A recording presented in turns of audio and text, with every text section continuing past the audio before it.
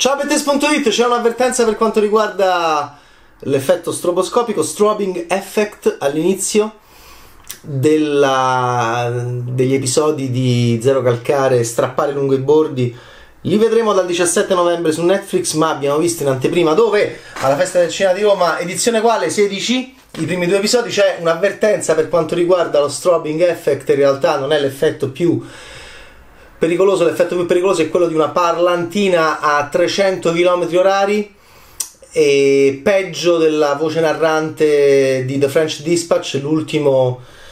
abbastanza insignificante film di Wes Anderson e, e quindi diciamo l'avvertenza principale che dovre- avrebbero dovuto fare per quelli un po'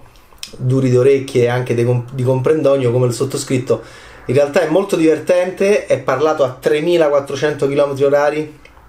abbiamo di nuovo visto Zero Calcare diventare animazione. Ovviamente è una eh, operazione che nasce da Rebibbia Quarantine la serie animata molto divertente che si vedeva a puntate su Propaganda Live eh, realizzata da Zero Calcare. Questa è una versione anche con un po' più di budget. È un'animazione che nasce da questo flusso di coscienza eh, di questo io che è Zero Calcare, il quale in questi due episodi che abbiamo visto ricorda un innamoramento eh, enorme per Alice accadutogli nel 2001 quando aveva appena 17 anni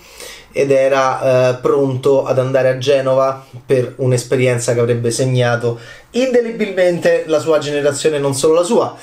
E l'amore per Alice, essere bloccato, rimaneva, rimaneva un rapporto dilatato, il, l'armadillo con la voce di Valerio Mastandrea che gli appare e gli parla. Valerio Mastandrea doveva realizzare da regista il film La profezia dell'armadillo, poi qualcosa è andato storto, anzi più di qualcosa, e non l'ha fatto lui il, il film.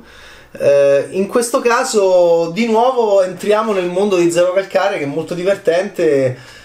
e il ricordo appunto di questa bambina che lui amava e alla quale non riusciva a dire niente eh, però non bisogna avere fretta la coscienza appunto l'armadillo che arriva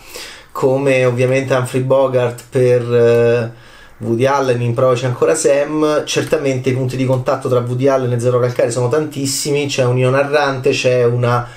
un comico sostanzialmente che riflette su, sulle idiosincrasie della sua generazione.